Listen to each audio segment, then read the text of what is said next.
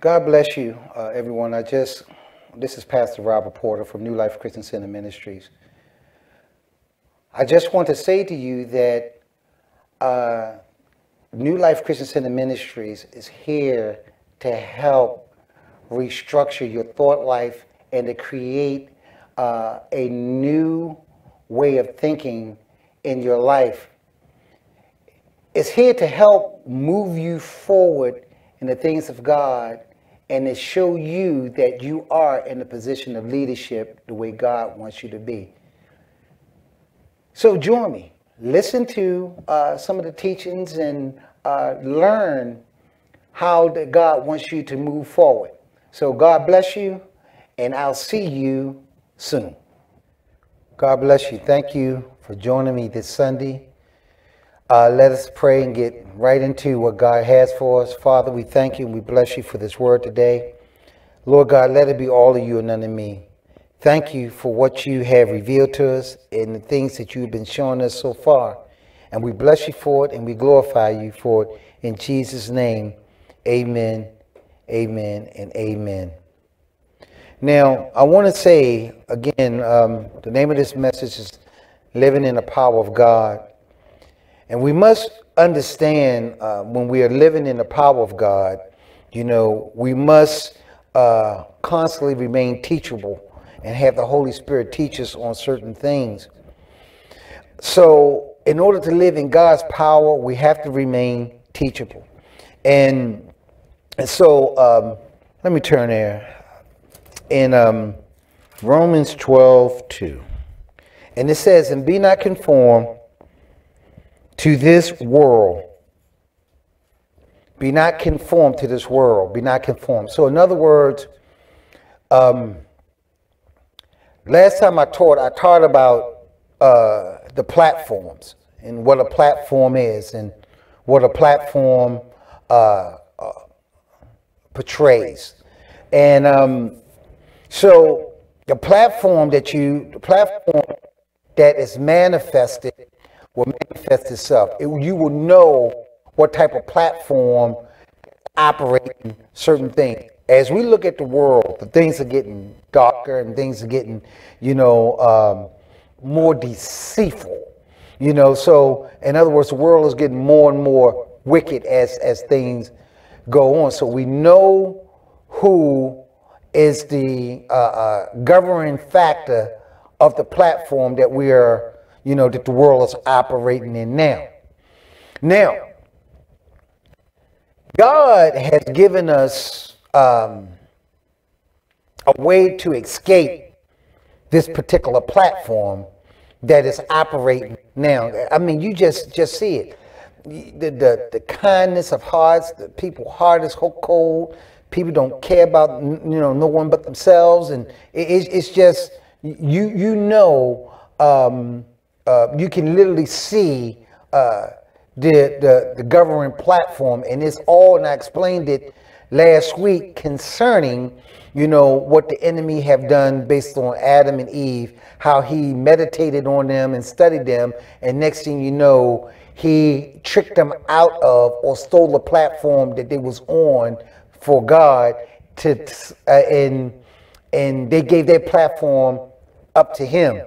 So now you know, in Romans 12, 2, it says, And be not conformed to this world. Be not conformed to this platform. Be not conformed to this platform, but be ye transformed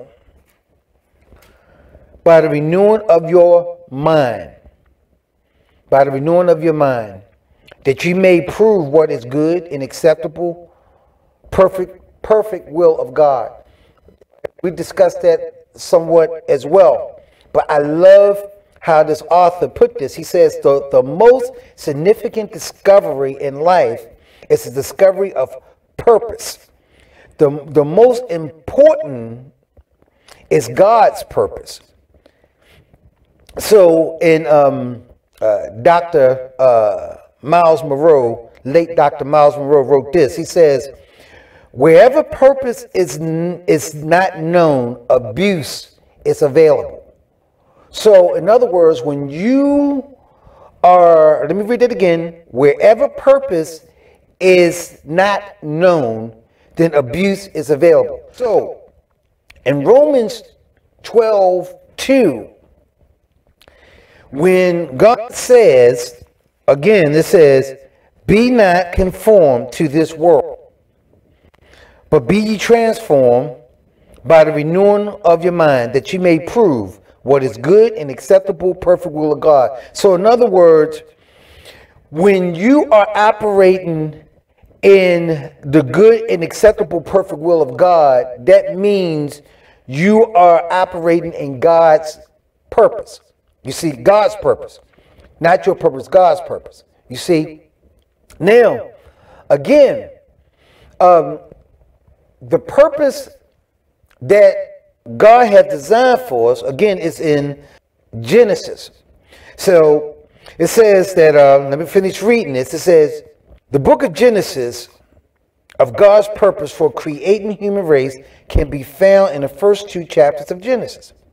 Then it says, the Genesis account underscore God inherent motivation to create a physical planet called Earth and to create a spirit children that he can collectively call Adam.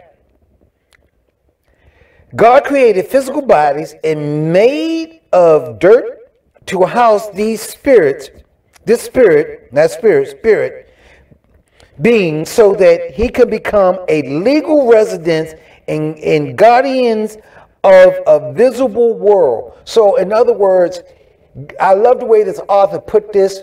So we have became guardians of this visible world that we that we are in right now. He says, now listen, he also says, from the beginning of our physical world was the design of a spiritual colony of the kingdom of heaven it was never designed to be a habitation of demons and foul spirits. So, in other words, uh, this earth was designed for us to control it. So, when God created us, He created us to rule this world. He did not want this, this earth to be inhabited, something that He created by demonic power, by demons. Now, if um, I'm gonna just step back here for a minute, just just just go back on something. In First Samuel's First Samuel 5, 1 and 2, it says the Philistines brought an ark of God from Ebenezer and Ashdod. They took the ark of God into a house of Dagon and set it beside Dagon, their idol. When, when Ashdod rose early on in, in the morning, behold, the Dagon has fallen upon his face on the ground before the ark of the Lord. So they took Dagon and set him in the place again. So in other words, I've read that first Samuel. This is this is my point demonic activity or anything that's dealing with uh, uh, uh, Satan and his government cannot cannot stand side by side with God government. You see, it cannot. So when God created this earth for us and for us to run it, uh, this earth was not designed to be run under uh, an evil governmental factor. You see, it was designed to be run under a righteous order so that God can bring, again, heaven to earth. He says in Genesis 26 28, we are told that humans were created by God to be an ambassador and a representative of God's kingdom. Of God's kingdom. This is what you've been created for. God the idea colonize by making it a, a colony of heaven of a heavenly kingdom. Says simply, humans were created to rule or exercise dominion over the world of matters on the behalf of God. So, in other words, we are here to dominate, dominion, to have dominion over this earth. So, when I was talking about platforms and how the enemy uh, fights for this platform, this is why we battle so much. This is why. Because we are a part of God's divine uh, plan or God's divine purpose to bring heaven earth. Good God Almighty. Y'all heard that? So, in other words, y'all are not here by accident. Y'all have a divine, a divine appointment or divine setup by God to help bring heaven to earth. Now, let me finish reading some more of what this author was saying. It says, he says, consequently, our purpose on earth is intriguingly, uh, uh is intriguingly tried, tried and to fulfill our prophetic assignment.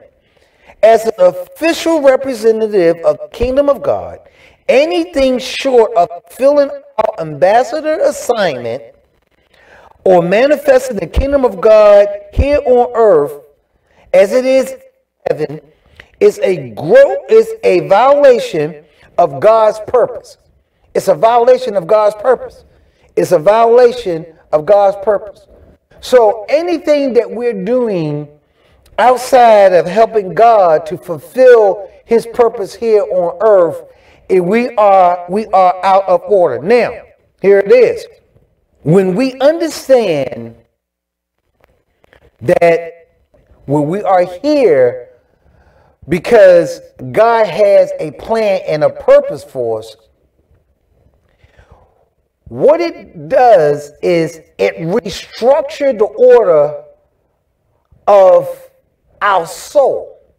In other words, it brings us into the mindset of we have a we have work to do and we have something that needs to be accomplished and established by God.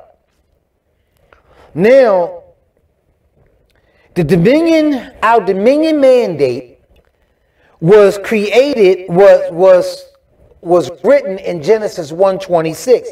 I'm going to read that again. It says, So God created man in his own image, in his own in his image. Mm, wait a minute, let me go back again. So God created man in his own image, and the image of God he created him. Male and female, he created them.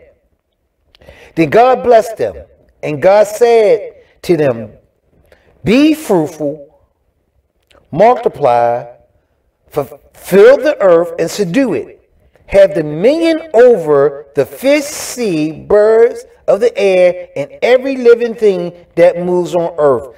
When you operating in that in that kind of power or that kind of authority, that means you are standing on a higher platform.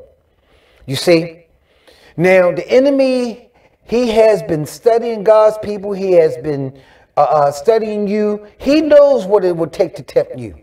He knows what it would take to stop you from moving in the things that God has called you to move in.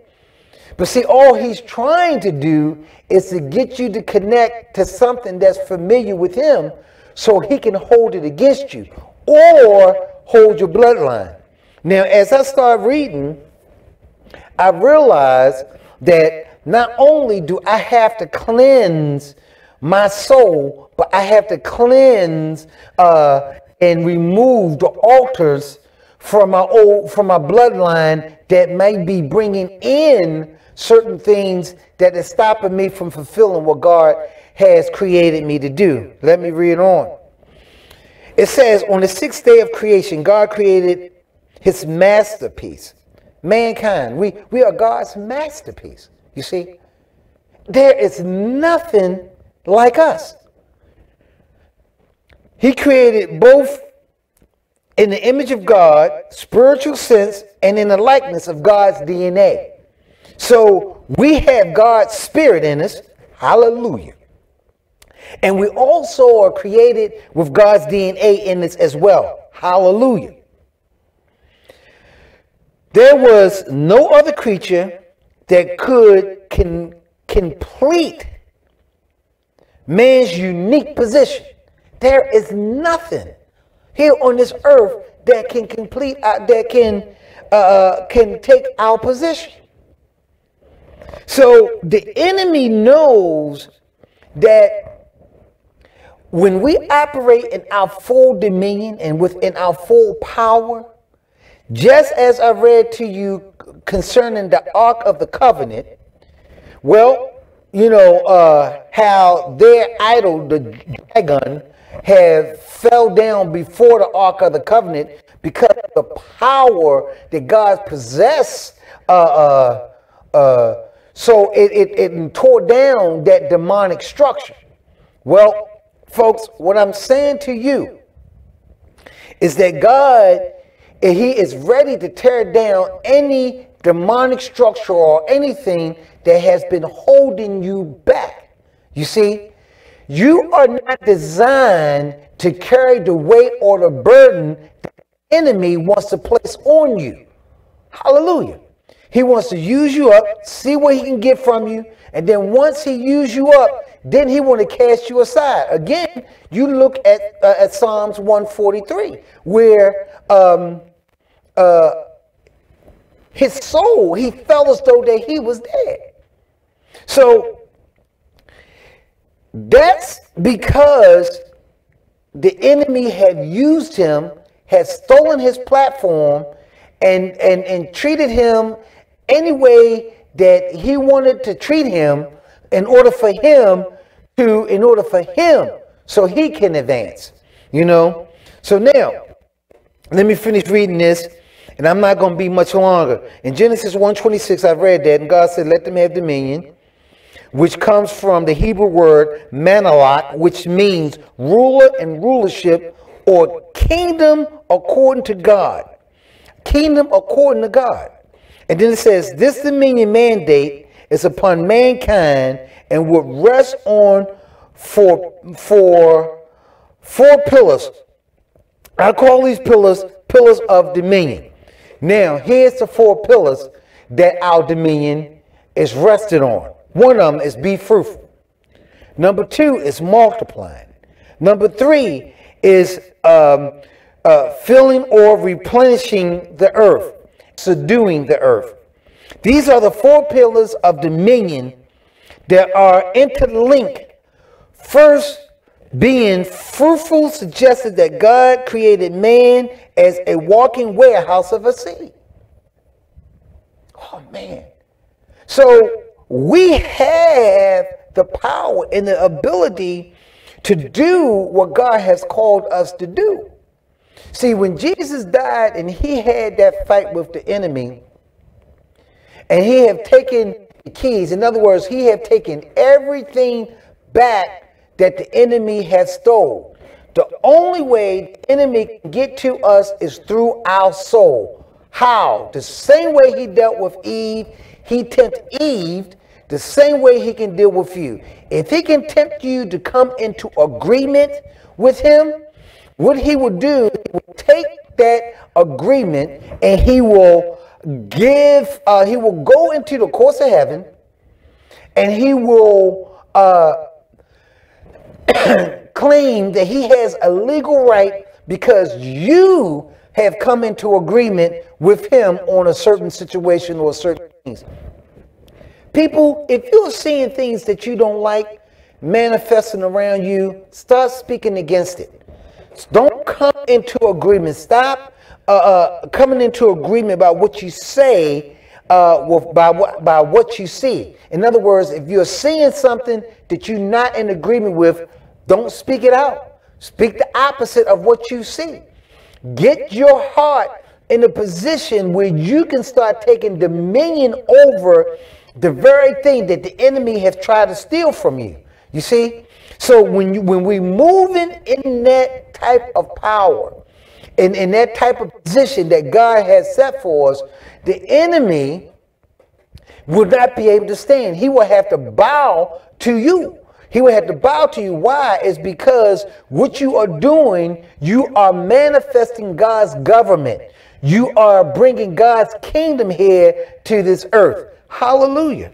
Hallelujah. Hallelujah. Let me finish. It says, the warehouse. This means no human was born empty. Wherever their discovery, their seed, bag or not, their seed bag contains seeds of dominion. However, in this chapter that I've been reading to you, he talks about, I will show you the four pillars of dominion and are connected by the tabletop called an altar. An altar. So everything, so when the enemy was fighting Adam and Eve, this is what he was after. He was after the, the everything that God has set up, being fruitful, multiplying, um, uh, replenishing the earth and subduing it. He he wanted all the resources of the earth. He wanted everything. Uh, so praise God for Jesus because He's given us uh, what the enemy has stole. He turned around and given this back to us. So now, let me say this. I'm going to finish reading this. He says, The will, I will show you that these four pillars of dominion are connected by a tabletop called an altar, which binds them together while serving as an interface between our world and the, and the supernatural world. In other words, this is why our soul has so is so important because we are the interface between the world and the supernatural, our soul. God uses us to bring his thoughts, his suggestions, his ways to us so we can uh, um, convert it and bring it to or bring it here on this earth. It's all about living uh, the dominion, living under God's uh, uh, dominion and under God's governmental order that He has set for us. He wants us to get and take dominion over this world so we can take our rightful position that God has for us. So we can bring heaven to earth. So people that are in trouble can be helped. So, so in other words, for us to be able to tear down the structure and the, the, the order that the enemy has set up for our lives personally and for someone else's life. Well, this is uh, Pastor Porter. I want to say thank you so much for joining me this Sunday. Um, we will pick up again on this uh, next week. So God bless you. Thank you. And I will see you soon.